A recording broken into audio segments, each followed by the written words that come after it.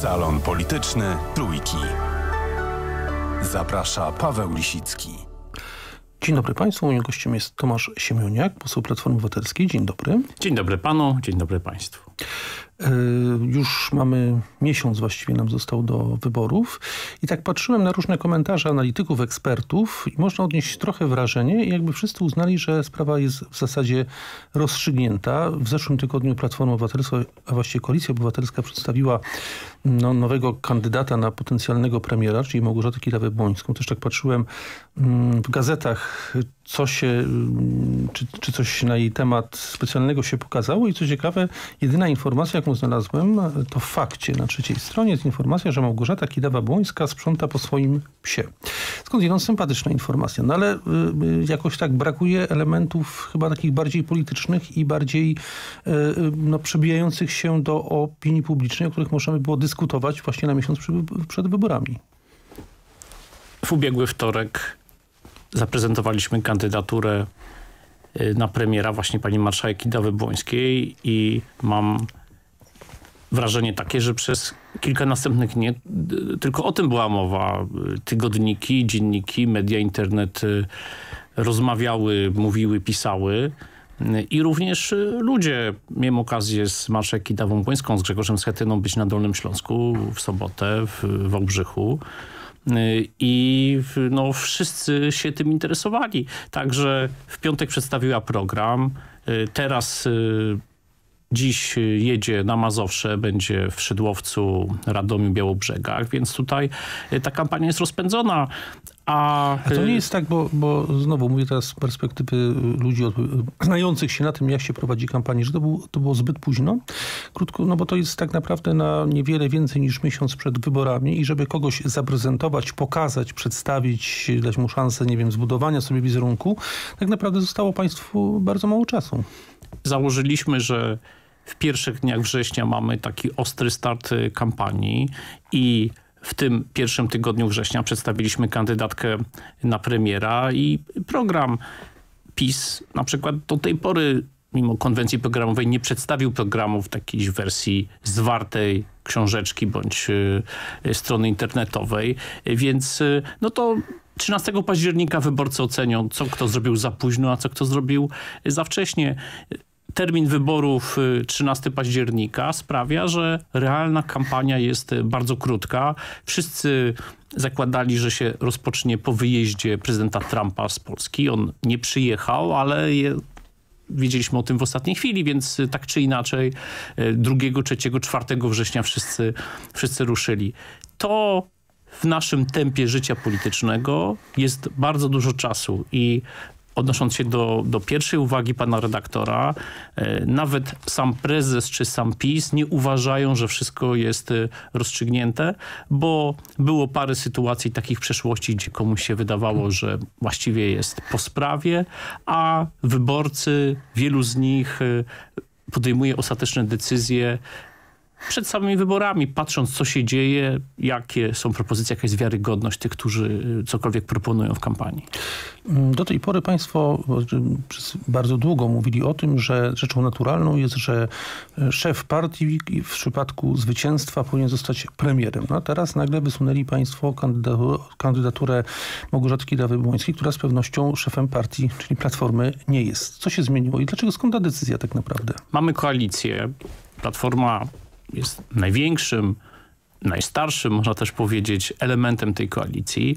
Natomiast... Yy, a to jest to nie jest decyzja z i z Zielonymi o tą koalicję chodzi? Inicjatywą polską, z samorządowcami i ta decyzja zaproponowana przez przewodniczącego Schetynę jest wspólną decyzją liderów koalicji. Y, także to jest y, trochę inna sytuacja niż sama partia cokolwiek proponuje. Uznaliśmy, że przy tym, co się dzieje w polskiej polityce, właśnie Małgorzata Kidawa-Błońska jest y, takim sygnałem, że chcemy trochę innej polityki, że Koalicja Obywatelska ma trochę inną filozofię i niech wyborcy to ocenią. A poza wszystkim innym, y, kto zna marszałek y, Kidawę-Błońską, ten wie, że jest osobą samodzielną, podmiotową i nie da nikomu kierować sobą z tylnego siedzenia. No to, to oczywiście jest deklaracja, którą zawsze w takim przypadku można usłyszeć. To, to akurat mnie nie dziwi. No ale czy to nie jest po prostu tak, że państwo podążyli drogą, którą wcześniej, którą wcześniej wytyczyło już Prawo i Sprawiedliwość? Tak samo prezes Kaczyński pozostał szefem partii, a desygnował najpierw na premiera Beatę Szydło. 2015 rok. Czyli państwo właściwie powiedzieli to samo, a przedtem przez tyle lat państwo to krytykowali jako przejaw właśnie braku przejrzystości w życiu publicznym. Mamy rok 2019 i nic dwa razy się tak samo nie zdarza. I wyborcy niech ocenią różnicę między panią premier Batą Szydło, a panią marszałek y, y, Małgorzatą Kidawą-Błońską. Jak mówię, jasne, że swoich kandydatów się chwali, ale znam bardzo długo 26 lat y, panią Małgorzatę Kidawę-Błońską i to nie jest osoba, która y, y, da sobą kierować.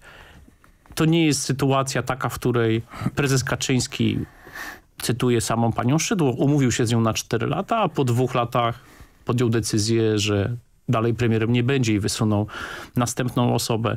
Jak mówię, wyborcy to ocenią. To jest bardzo przemyślana propozycja. Małgorzata Kidawa-Błońska bardzo aktywnie ruszyła, przedstawiła e, program w ostatni piątek e, i teraz praktycznie codziennie jeździ po Polsce, rozmawiać z ludźmi i ludzie to ocenią. Ja widziałem na własne oczy, jak dobrze jest przyjmowana przez ludzi, jak potrafi z nimi rozmawiać i zobaczymy. No tutaj mamy kilka tygodni i y, z całego przekonania, mówię, a nie z jakiegoś y, partyjnego optymizmu, nic nie jest przesądzone. Bardzo wielu Polaków będzie się wahało do ostatniej chwili, na kogo oddać swój głos, a PiS y, usypiany wysokimi sondażami popełnia elementarne błędy na wzorcowego ojca rodziny desygnuje na swojej konwencji wiceprezesa banku, który tłumaczy, jak 500 plus mu pomogło zbudować dom. No to są jakieś katastrofalne błędy. Już nie mówię o samej... No to państwo się powinni cieszyć. Jak PiS popełnia takie no to, katastrofalne błędy, to, ja się, to powinno ja je tutaj zauważam. wielki, wielki optymizm ja je, po stronie opozycji to ja je radość. Zauważam. zauważam. Ale dobrze, zanim, zanim zajmiemy się jeszcze, bo zaraz wrócimy do tej konwencji PiSu i do tych projektów. Pan poseł wspomniał kilka razy o, o tym, że Małgorzata Kilowa-Błońska przedstawiła program. Tak jest. Jakie są, nie wiem, trzy najważniejsze elementy tego programu? Zdrowie, program zdrowotny, to jest efekt y, wielu miesięcy naszych rozmów po Polsce. O tym ludzie głównie mówią. Martwią się tym, co się wydarzyło przez ostatnie lata w służbie zdrowia. Więc y, te propozycje, godzina oczekiwania na sorze, przy przywróceniu nocnej świątecznej pomocy w przychodniach, bo to jest ze sobą powiązane. 21 dni e, w kolejkach do specjalisty, darmowe szczepienia dla e, dzieci. To są takie konkrety, o których e, Małgorzata Kidawa-Błońska mówiła. Mówiła o seniorach, mówiła o czystym powietrzu, o sytuacji w szkole, o przywróceniu praworządności i demokracji. Wszystkie te elementy były przez nas dyskutowane już od lipca takim ważnym bardzo, dość kluczowym e, też punktem programu jest e, program Wyższa Płaca, pozwalający dla tych, którzy zarabiają mniej niż średnia krajowa, istotnie zwiększyć swoje dochody. Także przedstawiła Małgorzata Kidawa-Błońska ten program. No i teraz jeździmy i o tym rozmawiamy. Natomiast e, ja nie mam żadnych wątpliwości i e, właśnie rozmawiając przez ostatnie dni bardzo dużo z e, ludźmi po prostu na, na, ulicach czy na spotkaniach w swoim okręgu wyborczym w Wałbrzychu i innych miejscowościach, że temat zdrowia się wysuwa zdecydowanie na pierwszy plan, bo rzeczywiście tutaj PiS poniósł dużą porażkę. Widzą wszyscy, że jest gorzej niż było kilka lat temu i wszyscy też, czy prawie wszyscy wiedzą, że PiS zapowiadał różne rzeczy, budżetowe finansowanie, sieć szpitali i tak dalej i nie zrobił nic odłożyli reformy na bliżej nieokreśloną przyszłość. Tylko powiem tak, jak, jak, jak, jak zawsze słyszę debaty na temat tego, że trzeba ustawić, uzdrowić system opieki zdrowotnej, to wszyscy się zgadzają, pojawia się cała masa różnych pomysłów, ale to jest trochę taka dziedzina, którą tak naprawdę bardzo trudno jednym posunięciem albo kilkoma prostymi ruchami rzeczywiście zmodernizować i zreformować.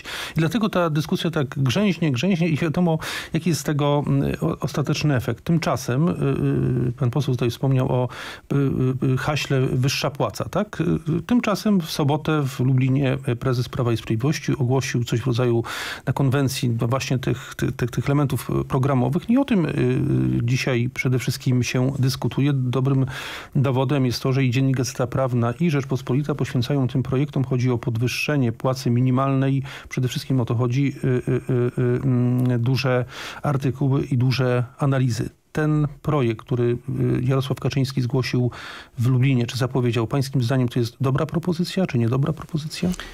Nasza jest zdecydowanie lepsza, bo oznacza, że ci, którzy Ale zarobki mają, państwa? płacą minimalną, a płacą średnią, otrzymują dopłatę do swojej pensji. Ci, którzy mają minimalną, otrzymują 600 zł i potem odpowiednio mniej aż do y, tej średniej. Jest to promowanie tych, którzy pracują i realna pomoc, zwłaszcza dla młodych, bo z natury rzeczy zaczynają od y, najniższej płacy, swoją drogę zawodową, ale też i do tych starszych, którzy no, ugrzęźli w niskich y, zarobkach, w budżetówce. A kto im ma Więc płacić te, te, te Państwo, dodatkowe? państwo. Czyli ja pracu, załóżmy, ktoś pracuje w prywatnym przedsiębiorstwie, zarabia, w- jest w tej skali pomiędzy pensją minimalną a średnią i wtedy państwo mu dopłaca tych 600 zł? Tak.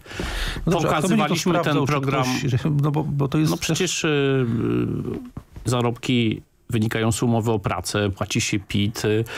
Ten program przedstawiamy od y, blisko roku. Został opracowany przez profesora Andrzeja Żońce, więc y, jest głęboko skonsultowany i y, ja w ogóle odebrałem to wystąpienie prezesa Kaczyńskiego w ostatnią sobotę jako taką reakcję w ogóle, że my wciąż o tej wyższej płacy mówimy i że strategzy PiSu zaczęli to zauważać. Odpowiedź PiSu jest y, dość specyficzna, bo prezes y, obiecuje złote góry, ale nie z pieniędzy rządowych, nie z pieniędzy budżetowych, tylko przecież płaca minimalna to nie znaczy, że ktoś się do tego dokłada, tylko pracodawca mają zapłacić.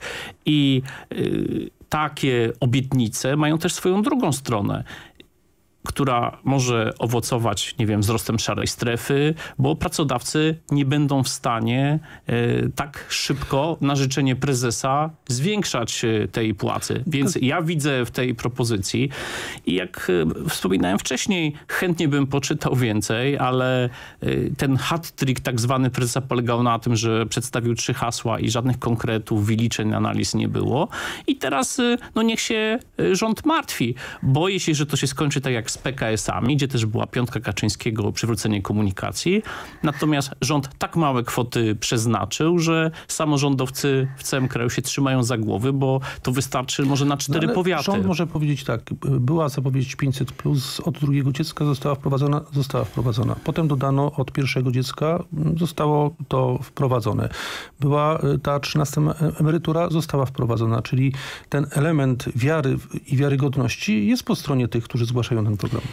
Gdy rozmawiam z ludźmi na ulicach, to może to jest taka trochę natura wyborcy, raczej zawsze zauważają to, co nie zostało zrobione. Na przykład e, program Mieszkanie Plus. No zakładam, że zwolennicy opozycji raczej widzą to, co nie są, zostało. Nie, to są, to są osoby, nikt nie ma tabliczki na marynarce skąd jest, natomiast Mieszkanie Plus, no sztandarowa porażka PiSu. Miało być, premier się osobiście zobowiązał w zeszłym roku 100 tysięcy mieszkań w budowie, w 2019 roku jest trochę mniej niż tysiąc, więc y, y, wyborcy są tacy, czy Platformy, czy PiSu, czy Koalicji Obywatelskiej, czy Lewicy, że raczej widzą to, co nie zostało zrobione, a nie chwalą za sukcesy. Taka jest natura wyborcy. I zostawimy wyborcom ten wybór 13 października. Jak bardzo, najbardziej. bardzo dziękuję. Ja Moim dziękuję. gościem był Tomasz Siemieniak, y, poseł Platformy Obywatelskiej. Dziękuję.